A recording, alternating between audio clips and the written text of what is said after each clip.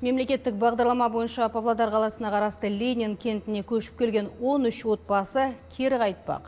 Олар Қытай, Моңғолия және Өзбекстаннан қоныс аударған қандастар. Ата жұртқа оралған ағайын биліктен биліктің сөзіне алданып қалдық дейді. Әкімдік әуелде баспананы тегін жекешелендіріп береміз деген екен. Енді арада 5 жыл өткен соң 6 миллион теңге сұрапты. Қандастардың жанайқайын аймақтағы тілшіміз Есенбек Санатұлы айтып берсін. Айбын Құрман ата жұртқа аспан асты елінен көшіп келді. Әрі шаруашылыққа қолайлы, әрі облыс орталығына жақын деп Ленин кентін таңдаған. 5 жыл бойы айына 6000 теңгеден жалдап тұрып келген баспананы енді әкімдіктегілер сатып алыңдар депті. 5 жылдан кейін үйді бастарына тегін қаратамыз деген квотамыз алып қалды, берілмей. Сол жарайды енді квота берілмесе қойсын үй берілсе болды деп біз сол үйді алғамыз. Бірақ 5 жылдан кейін жағдай басқаша болып отыр. Ақша сұралып отыр бұл үйге 5 миллион 800 мың деп.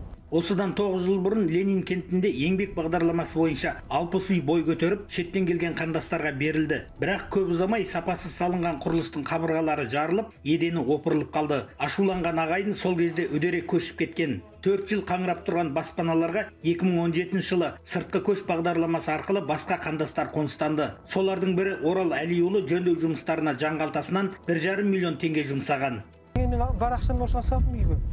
Отыратын үйім енді тіріде үйленген болсын дейді қазақта өлгенде көрінген болсын дейді соны осы үйді осы дұрыстап отырайық деп өстіп жасап алдым өз үйім деп сол өкімет жаңағы шетелден бізге көшіп келген қандастарға тегін беріледі деген программа бар деп бізге көрсеткен бес жыл бұрын қандастарға үй берілгенде жалдап тұрып артынан жекешелендіріп алуға болатыны айтылыпты. Әйтсе де әкімдіктегілер баспананың тегін берілмейтінін алға тартады.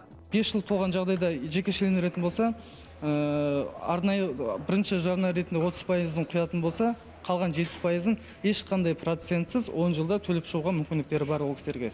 Яғни жәнегі тұрғын үй қатынастары заңына сәйкес он э, санаттағы азаматтар тегін осы үйді аттарына түсіру мүмкіндіктері бар. Э, бірақ өкінішке орай ол кісілердің айтып отырған қандастар тегін алу деген ол он санаттың ішінде ондай көзделмеген.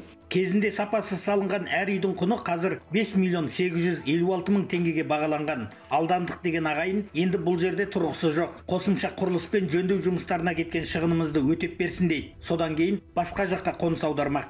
Есенбек санатұлы қайрат алпысбаев атамекен бизнес павлодардан.